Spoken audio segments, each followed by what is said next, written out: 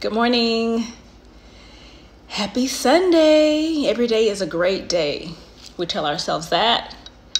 Living in gratitude, to be thankful for another opportunity to be here. All right. So today we're talking about prioritize your wellness. Good morning, good morning. Hey Mika. Hey Brittany, how y'all doing? Another tea time gathering together in community. Our topic today is prioritizing your wellness. Um, feel free to share the video. If you can only hop on for a short time, come back for the replay later. Let me get, let me know what you guys are drinking this morning. I'll share uh, my tea with you as I always do. This is a new one for me. Um, it is Refresh from Emerge Wellness Tea Company um, out of, I think, Powder Springs here in Georgia. So let's tell you guys what's in it. Green tea, spearmint, and peppermint. It smells amazing. It smells amazing. I did add some honey. I think it said steep 90 seconds. Yes, steep 90 seconds. Good morning, Tea. How are you doing? And I added this Brazilian honey infused with elderberry, zinc, and echinacea. I got this from, um, where did I get it from? TJ Maxx or Marshalls because that's probably, those are the stores I mostly shop at, so. Okay. Let me know what you guys are drinking, and we're going to hop into it. Sending you good love and hugs this morning, T. I'm glad you could hop on as your schedule allows. This is my first time drinking this tea, so I'm gonna take a sip and let you guys know. Oh, it's good. Very refreshing. Taste the spearmint, taste the peppermint. Support small business. If you're a coffee drinker, consider opening your, your mind and body to tea. All right. So we're talking about prioritizing your wellness. So let's just hop in and you guys let me know what is wellness to you? Like, what's your definition of wellness? And then I'll give you my definition.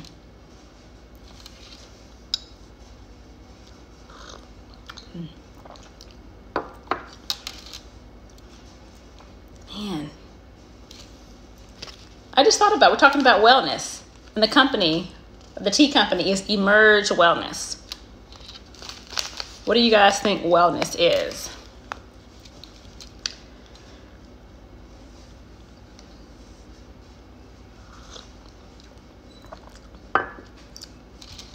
Typing it in. For me, health and wellness uh, tie together. It's important to have both. So we'll see what you guys say, and I'm just gonna hop in and keep it going with uh, my definition. Wellness is the practice of healthy habits, hopefully on a daily basis, if not daily, multiple times throughout the week. So, healthy habits, wellness go hand in hand. What are we eating? How's your sleep? Are you moving your body? Those are the things that people think of initially.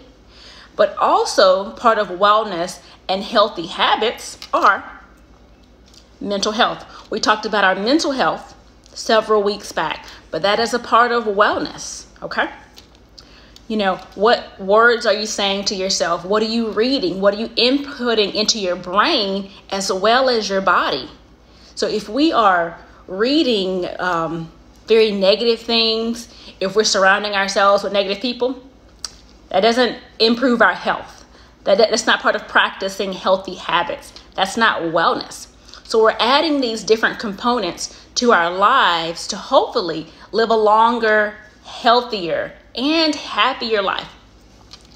Oftentimes, when people think of wellness or they think of health, it's always how we look on the outside. But, friends, you and I know wellness is much more than our physical being, right? Our wellness consists of how, how's our physical being, yes, but also on the inside. How's your heart? How's your sleep habits? We mentioned that before. Is your anxiety at a level of control that you can manage? Are you drinking enough water? Okay. Just because someone is naturally quote unquote fit, whatever that means, you know, the the marketing people, of course, the um, journals and magazines tell you what fitness is and some of the previous research regarding BMI, which is a whole nother topic. We won't go into all that too much, but they'll tell you what what healthy is. Each person's different. Some people are naturally just muscular or very slim people. But that doesn't mean that their cholesterol numbers are good. That doesn't mean that they are not a type 2 diabetic, okay? It doesn't mean that they don't have hypertension, high blood pressure. That doesn't mean that they're not sleep that they're sleeping well. Okay? So how we look on the outside does not determine our overall well-being. Okay? So we got to talk about those things. Prioritizing your wellness. Um, a couple days ago, I put a post up um, about mammograms and breast health, something that I'm currently dealing with, and as a part of your wellness. Maybe you're not 40, or maybe you are 40. Mammograms are um, recommended at age 40 for women. But if you find a lump in your breast or anywhere else in your body, you should have it assessed. Beyond mammograms or breast health, we have to focus on our well being. Good morning, Joyce. Talking about prioritizing your wellness. Let us know what you're drinking. Send you a wave. Um, prioritizing your wellness. So if you are an employee, or maybe you're you're an, an entrepreneur, if you're a parent, you have a significant other, you take care of your parents or older adults, you're very busy giving, giving, giving to other people. We talk about our to do list, knocking them out, prioritizing our things. Where do you fall on your list of priorities? Oh, thank you, Joyce. Joyce says, Good morning, great topic. Thank you.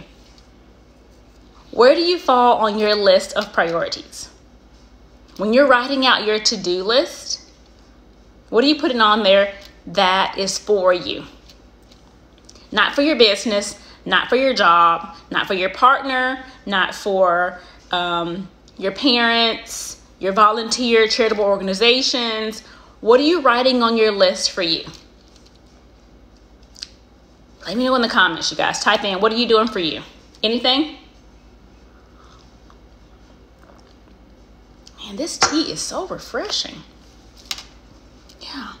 And as you guys know, I share these teas because they're small businesses. I love loose leaf tea. I consider myself a connoisseur of tea. I don't really know if that's true or not, but hey, I like to drink loose leaf tea. And I always want to share small businesses. I've paid for these teas. These are not ads, but if you're interested, check out the companies, see what your thoughts are.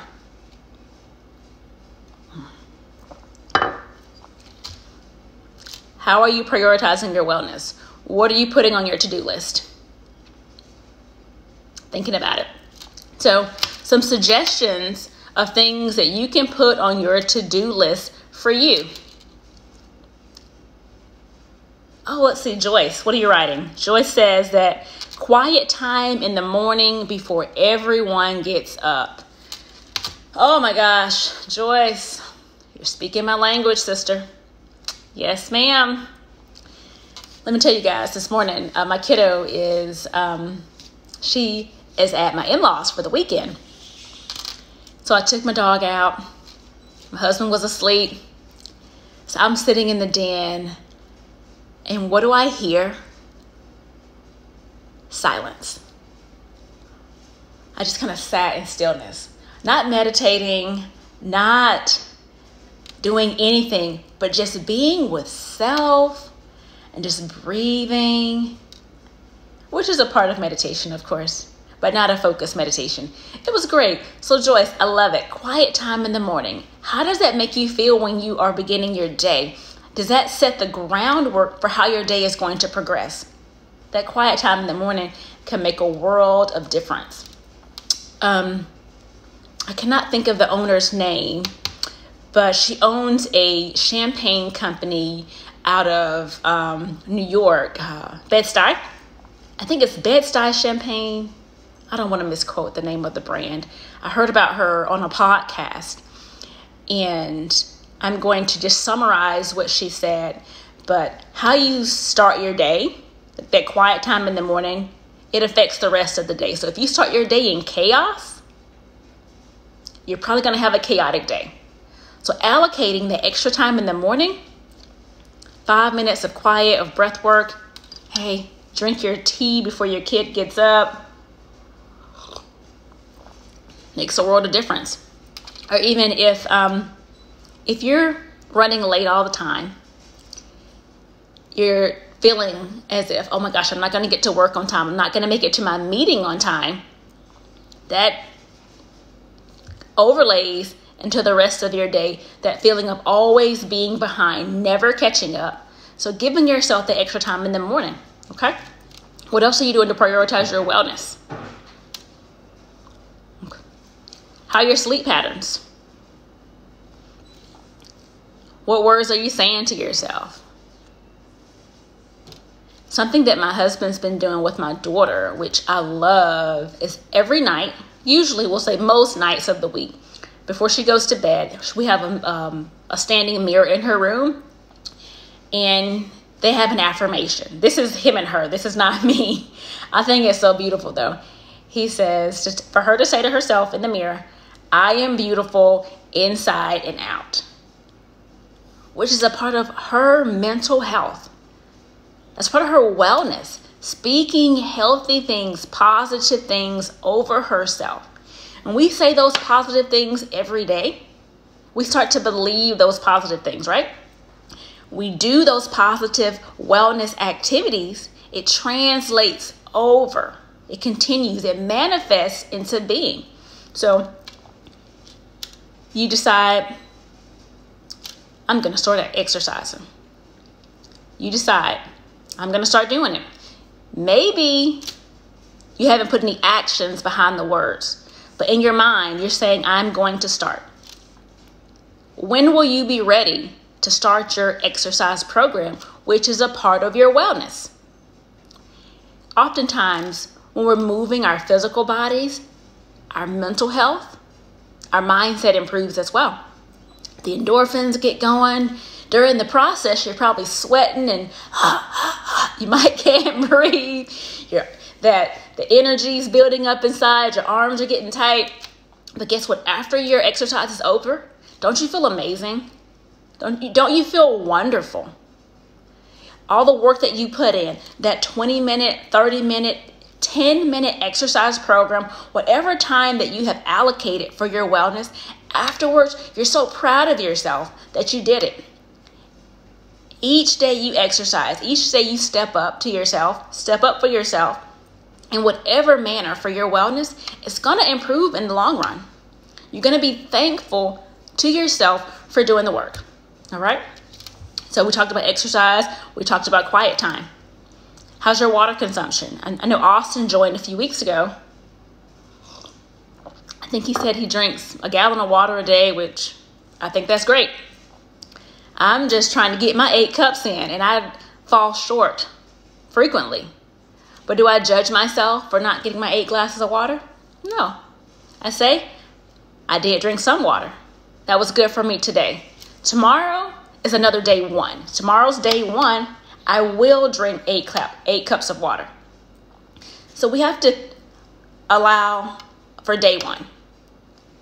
We oftentimes as people, I say we because I include myself in this, I'm steadily growing. We all are as people, we say um, one day, we speak in the future. What about today? What time are you allocating for yourself? Speaking in the future is great, but at some point you have to decide. I have to decide. I'm ready. I'm ready to do the work. I want to live better. I want to be better for myself, number one, and for other people for my loved ones. If you're not well, that moves into your entire family, your friendships, your relationships. It affects it all. You have to be well inside and outside. Okay? Mind, body, spiritual health. Yoga means yoked to you to be united as one, right? It's important. Think about it. If there's a part of your life that's not in balance, it it moves over to something else.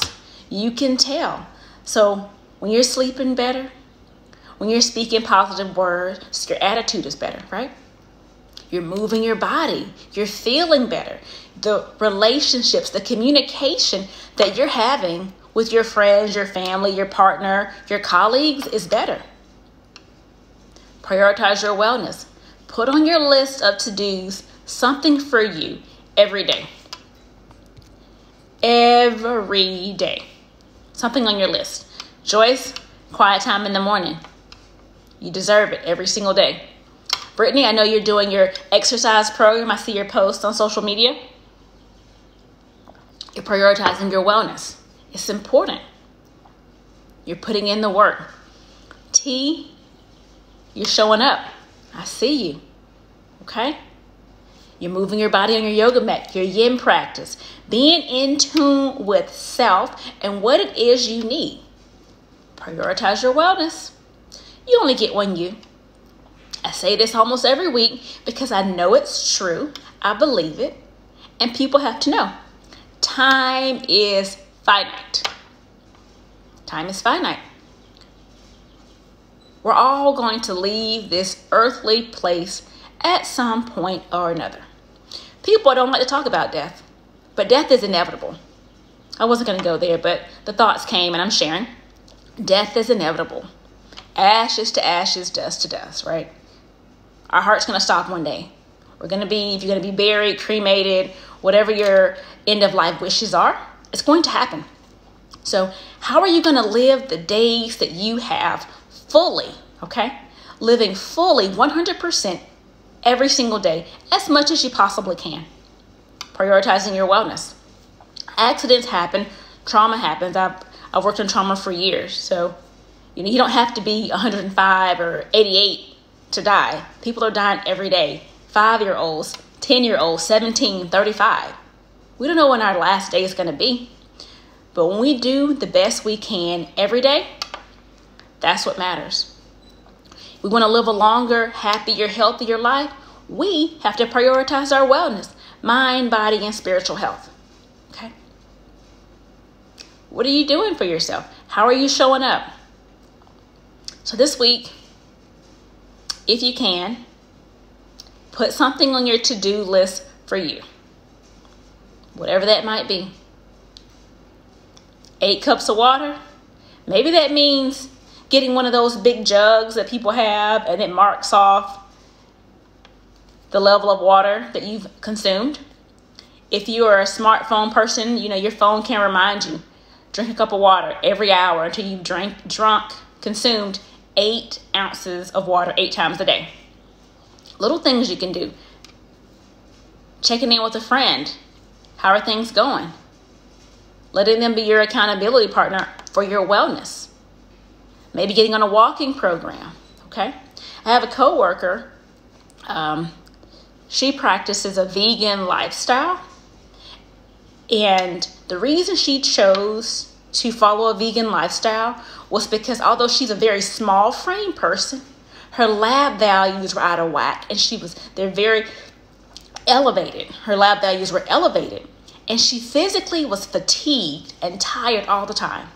She said within 30 days, all of her numbers were normal and she felt better. So when you put in the work, you get the results, right? Prioritizing your wellness. The same way that you put everything else on your list of things to do your job, your kids, your partner, your pets, your business, those charitable organizations, all of the things that are important. I hope that this week, number one, at least in the top three, something for you. And you'll feel good about it after. Your body will feel better, your mind, your spirit. You'll be like, yes, kudos to me. Give myself one of these. Pat on the back. You did it. You showed up. And your family and friends and coworkers will see the difference. Not just about your outward being, about your energy level, your attitude. Prioritize your wellness. It's important. I think we will uh, wrap it up here. I thank you guys for hopping on, sharing the video, the tea time. We'll be back again next Sunday, 9 a.m. Eastern Standard Time. Feel free to share with a friend, and I always post these on YouTube so you can watch later. If you guys have questions, thoughts you want to share, feel free. Send me a direct message, comment below. Um, send me an email, stephanie at professorepps.com. Hope you guys have a beautiful day, a beautiful week. Prioritize your wellness every day this week, okay? All right. And as I always say, day one over one day. Today is day one. What are you going to do for yourself? Have a good day. See y'all soon. Bye.